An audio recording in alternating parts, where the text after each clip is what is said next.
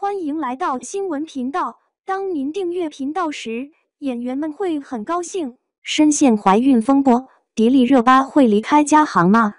迪丽热巴也是属于顶流了，迪奥这样的奢侈品为了签她，都给出了不菲的条件，比其他的八五后花都要高。且不说价码高，还承诺了五大杂志的封面。这对于热巴在国际上的事业是有极大帮助的。迪丽热巴在二零一三年的时候，因主演个人首部电视剧《安娜尔罕》而出道，因为父亲推荐照片被安娜尔罕导演一眼相中，后来凭借爱情剧《克拉恋人》赢得高人气，并获得国剧盛典最受欢迎新人女演员奖。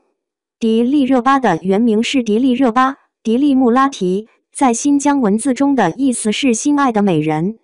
确实，迪丽热巴非常的漂亮。迪丽热巴能走红，并且持续红下去，与颜值也是分不开的。迪丽热巴是摄人心魄的攻击型美颜。对我而言，她是内娱颜值的巅峰；对别人而言，则可能是其他明星。但不可否认的是，她的美貌是足以定义倾城之姿那一梯队的颜值 top。大坤觉得外柔内刚，刚柔并济，或许就是迪丽热巴最大的人格魅力之一。她明明拥有着随意适量行凶的美貌，却偏要用努力和实力来实现自己。在戏里，她塑造了或美艳大气，或天真可爱，或侠骨柔情的影视角色，使观众对其过目不忘。在戏外，她却是率真直爽，努力向上。从不心浮气躁的九零后女孩，不过迪丽热巴的演技颇受争议，可能是颜值限制。演高文的时候好评，因为符合她的人设，是美艳的女明星，明明是浓颜，还给她来了个反差萌的性格，合理的来很讨喜。演过异域美人，演过保镖侠女，演过青丘帝姬。之后，无论是演古装戏，还是偶像剧女主，还是丑变美帝李慧珍，都太不符合她本人了。先不说她演技好不好，她的颜值也太限制戏路了。浓眉大眼大鼻梁，还有新疆异域感，你能说服自己她是普通女孩吗？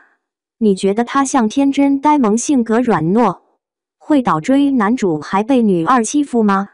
像早年的陈乔恩。演台偶的时候也谈不上多美，但你就是相信她是陈心怡，是叶天瑜。你能理解为什么有的角色会欺负他，男主会怜惜他，会理解他为什么坚强忍让又平凡勇敢，然后越看越可爱可怜，然后会为了男主专宠这样一个平凡可爱的他上头。迪丽热巴长相是盛气凌人的美，五官还挺男香的。克拉恋人里的沈东君就挺配她的，成熟男人留点小胡子，长得周正沉稳，是能降得住他的长相，挺有 CP 感。但后来跟他搭戏的吴磊、邓伦、杨洋都不行，跟热巴配着都像弟弟，气场上就显不出男霸道女小鸟依人来。特别是在后来《长歌行》这部剧，吴磊的气质还很稚嫩，毕竟年龄在这。还去搭热巴，就更没有 CP 感了。所以这部剧为什么火的是刘宇宁跟赵露思？因为这俩才是偶像剧合适的配置。事实上，大部分男星都更适合跟小白花配，像邓伦跟杨紫、吴磊跟子枫都是这种配置。所以热巴在偶像剧的赛道里真的很难走通，走不了小白花的路，也找不到适配的男主。现在国产剧的女主还是盛行小白花路线，劝热巴换个赛道，找个适配的角色。当初演的女二高雯真的比现在演的很多石沉大海的女主强。但后来迪丽热巴作为第七位金鹰女神，参加了第一十二届中国金鹰电视艺术节暨第二十九届中国电视金鹰奖开幕式晚会，并成为了首位一千九百九十年代出生的金鹰女神。而她也在这次艺术节上获得了观众喜爱的女演员和最具人气女演员两项殊荣。因为颇受争议的演技，随之而来的却并不是漫天的赞美和祝贺之声。颁奖晚会落幕后，社交网络上的质疑声铺天盖地袭来。不少网友表示，漂亮的李慧珍这部韩剧翻拍作品质量堪忧，迪丽热巴在其中的表现也差强人意。金英杰此举无疑是向流量低头。双引号，欲戴王冠，必承其重，但要是实力撑不起王冠，似乎不要更好。在这届的事后争夺战中，国民闺女杨紫惜败迪丽热巴，但有战长沙欢乐颂等代表作的杨紫，在网友眼中是有实力、让人心疼的存在，而迪丽热巴则成了不努力就可以成功的人。带了一波路人好感度。大坤个人看来，迪丽热巴在演技方面不算是天赋型的演员。以前她一年就只有一部戏，说实话质量还挺不错。但是从她接了节目，一边录节目，一边拍戏，一边商业活动，戏的质量明显是下降的。迪丽热巴也曾经参加过一些综艺，像是《极限挑战》和《奔跑吧》。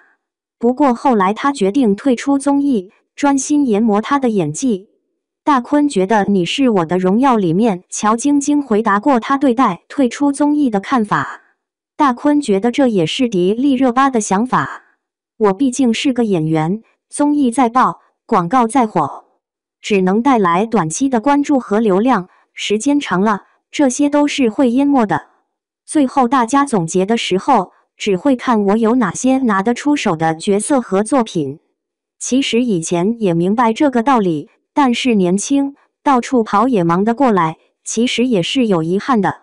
或许也是迪丽热巴作为一名青年演员，一直在磨练自己的演技，永远将演戏作为自己工作的重心，不断沉淀自己，揣摩角色。一年几乎全都在剧组，因此不太有时间参加综艺啦。